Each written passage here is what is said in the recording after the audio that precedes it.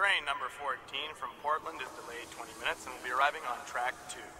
That's train number 14 from Portland, arriving 20 minutes late on track 2.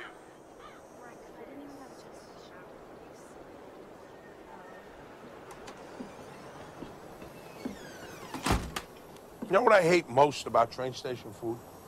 There's nothing even remotely Italian about the Italian subs. Oh, hi, Coach Fanelli. Hey, what do you say, kid? Do you mind if I grab some wood? Sure. How'd you find me here? Yeah, I ran away more than a few times when I was your age.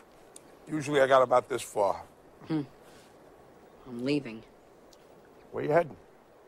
San Francisco. Boy, my star quarterback's willing to pass up the state championship game this afternoon. It must be something pretty serious.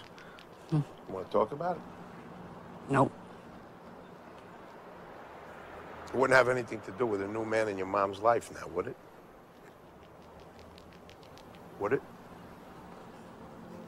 He's not my dad, all right? No, I guess he isn't. And you loved your father very much.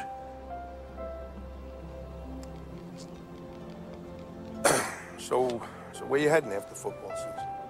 Running away, remember? Yeah, I know. I mean, well, I mean, theoretically, you know, if you weren't running away, what, what would you be doing? I don't know. Probably play basketball or something. Hmm. Boy, I, I would have thought the way you got into football, basketball was out. I never said it was out. I still love basketball. It's just that I love football too. How's that possible? And you can.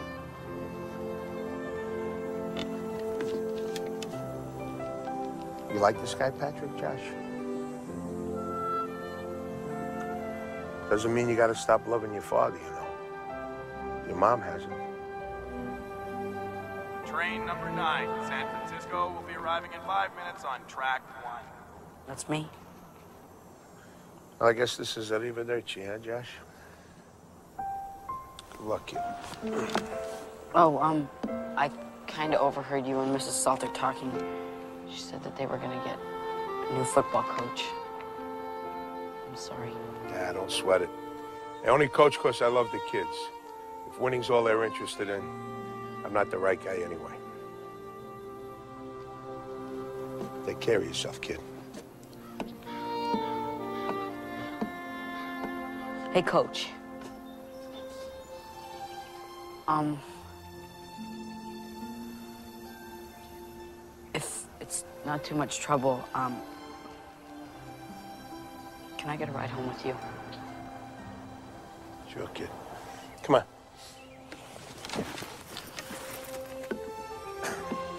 Don't mind if we stop for a slice of pizza.